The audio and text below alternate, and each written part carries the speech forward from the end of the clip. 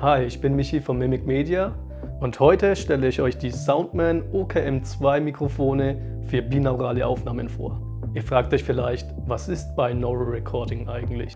Binaural Recording ist eine Aufnahmeart, um den Ton so realistisch wie möglich dreidimensional darstellen zu können. Genauso wie wir zwei Augen benutzen, um dreidimensional sehen zu können, benutzen wir auch zwei Ohren, wer hätte es gedacht, um dreidimensional hören zu können. Ankunftszeit, Lautstärke und Frequenzbereich des Schalls am jeweiligen Ohr spielen dabei eine entscheidende Rolle. Deswegen hat man diesen 3D-Soundeffekt von binauralen Aufnahmen auch nur, wenn man den Sound über Kopfhörer anhört. The Verge hat dazu ein sehr gutes Erklärvideo gedreht.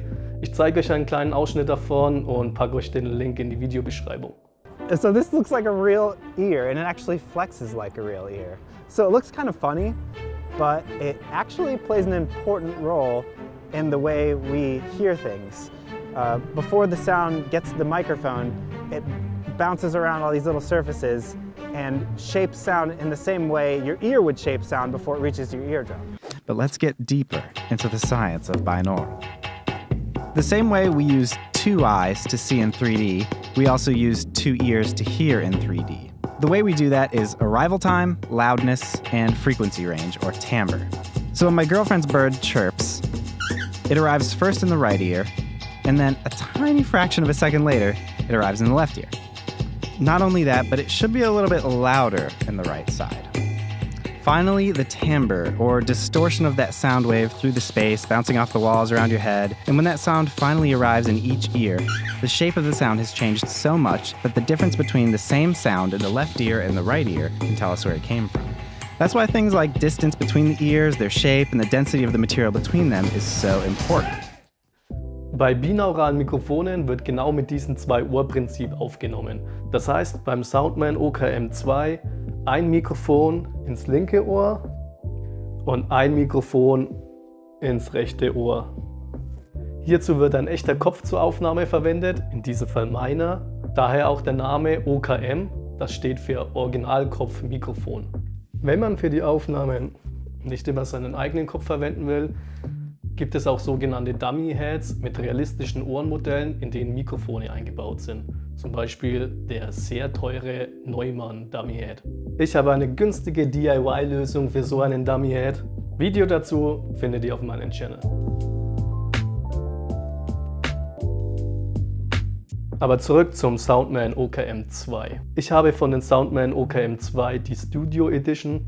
Das heißt, die Mikrofone wurden vermessen und es wurde ein Paar gewählt, die sich in Lautstärke und Frequenzbereich extrem ähnlich sind. Für den Anschluss an meinen Zoom F3 32-Bit Recorder benutze ich einen separat erhältlichen XLR-Adapter.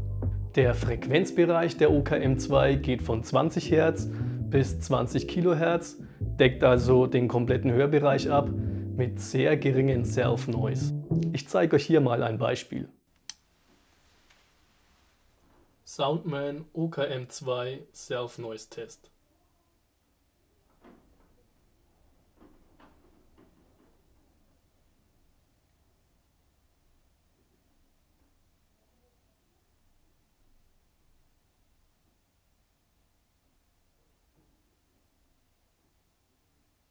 Ja, der große Vorteil an den OKM2 ist, dass man sehr unauffällig aufnehmen kann. Man trägt die Mikrofone eigentlich wie ganz normale In-Ear-Kopfhörer und ist damit komplett unauffällig unterwegs. Also wenn man irgendwo mal in der Öffentlichkeit aufnehmen will, in Cafés oder in einer belebten Fußgängerzone oder so für Ambient-Sounds, sehr geeignet. Der Nachteil der OKM2 ist, wenn man draußen filmt, die Windgeräusche. Ich habe für meine Aufnahmen einfach eine Mütze verwendet. Das hat eigentlich ganz gut funktioniert, ohne dass der Ton großartig gedämpft wurde oder so. Ich habe auch oft gelesen, dass viele das Problem haben, dass die Mikrofone beim Laufen aus den Ohr fallen. Ich hatte das Problem allerdings nicht, denn es werden hier solche Ohrenbügel mitgeliefert, die den Mikrofonen besseren Halt geben. Vielleicht gab es diese Bügel bei den älteren Modellen nicht. Jedenfalls werden die mitgeliefert und ich habe damit einstündige Walks gemacht und äh, das Mikrofon ist mir kein einziges Mal aus den Ohren rausgefallen.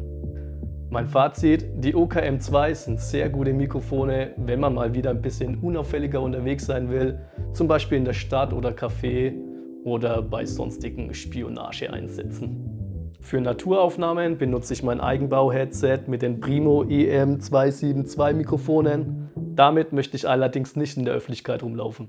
In Prag habe ich die OKM2 Mikrofone ausgiebig getestet. Video dazu findet ihr auf meinem zweiten Kanal European Ambience. Link in der Video Description.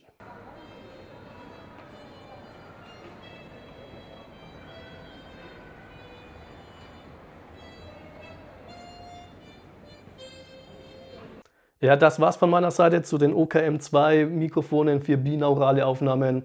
Wenn ihr noch irgendwelche Fragen habt, schreibt es einfach in die Kommentare. Wenn ihr keine Fragen habt, schreibt trotzdem einen Kommentar. Das hilft für den YouTube-Algorithmus. Ihr wisst es ja. Like, comment und subscribe. Bis zum nächsten Mal, euer Michi vom Mimic Media.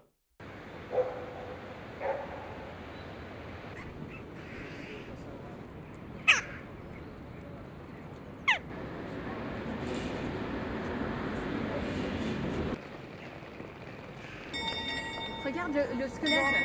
Regarde le squelette.